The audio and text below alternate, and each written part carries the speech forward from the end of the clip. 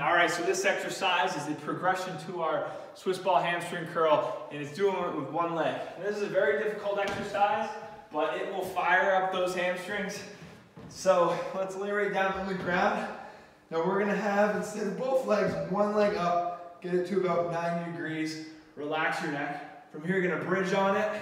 Woo, use those hands to support you, and then you're gonna curl right up and extend.